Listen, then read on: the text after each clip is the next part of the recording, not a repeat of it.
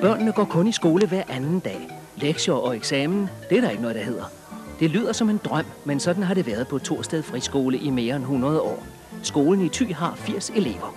Jeg synes, det er fint, man kan være hjemme og lege.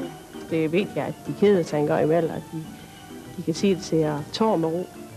Og nej, der er desværre alt optaget på Torsted Friskole. Men se med i Se der sket, tirsdag kl. 20 her på TV2.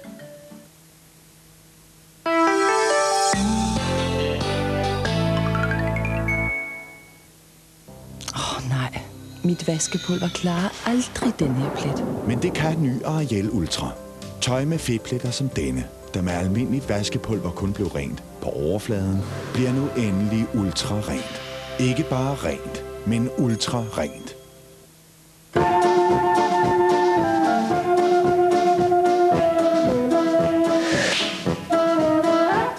Pyt.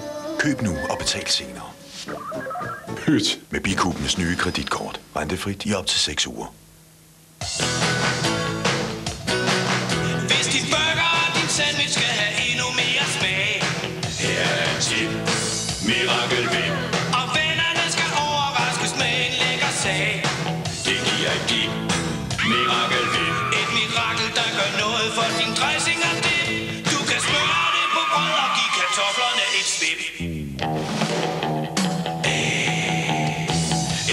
Tip. Mirakel Whip.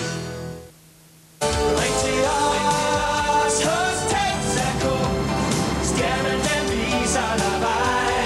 Ring til os hos Texaco. For Texaco tænker på dig. Er I klar? Kom med nu. Sådan. Hvis du vil se, hvorfor Kellogg's Cornflakes koster lidt mere end almindelige cornflakes, så behøver du bare at lukke øjnene. Kellogg's Cornflakes. Du har vel ikke glemt, hvor godt de smager. Har du? Læg godt mærke til denne enestående film.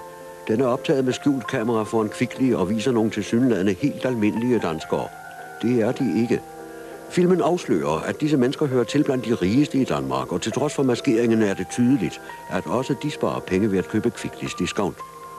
Læg mærke til, at personen bruger bagsiden af en aktie som dosmerseddel.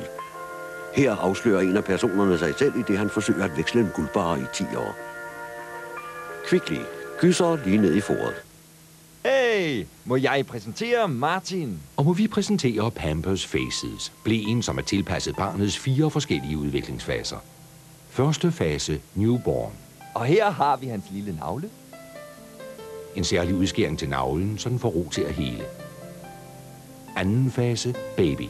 Når barnet får flydende føde, bliver det, som havner i blæen, også flydende. Derfor har Pampers Baby ekstra beskyttelse ved benene for at hindre udsidning.